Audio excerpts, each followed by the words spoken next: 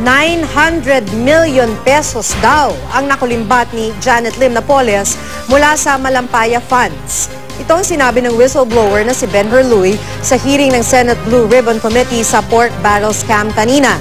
Ibibigay raw sana ang pondo sa mga magsasakang sinalanta ng bagyong Ondoy pero wala raw nakarating sa kanila. Ayon naman sa nagsilbing bookkeeper ng JLN Corporation na si Mary Arlene Baltazar, naramdaman niyang may anomalya nang malaman niyang walang patunay na nagkaroon ng deliveries ang mga NGO ni Napoles. Kwento naman ng ina ni Ben Herluy na si Gertrudes, siya ang tumatanggap ng pera kapag may nagdadala nito sa bahay ni Janet Napoles. Dinidiretso niya raw ito sa kwarto ni Napoles. Ayon pa kina Marina Sulia, Sula at Ben Herluy, Malawak ang koneksyon ni Napoles sa gobyerno. May mga tao raw sa BIR at Sandigan Bayan na tumutulong kay Napoles. Nabanggit din sa pagdinig ang pangalan ni Brian Yamsuan.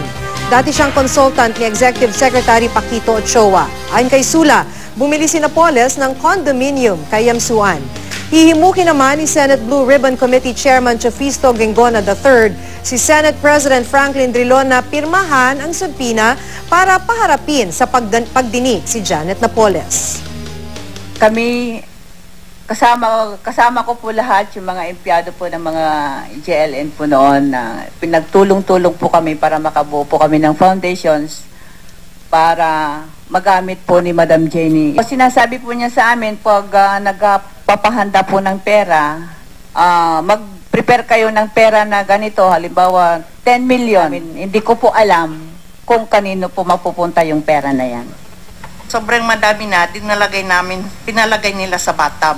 Tapos sabihin na lang niya, oh, buksan yung bag at tapos bilangin namin yung pera. Kasi lahat po yung mga dating naging ahente at naging empleyado niya, yun po ang suspecha niya na kinocompete siya kasi po granting na marunong, marunong na yung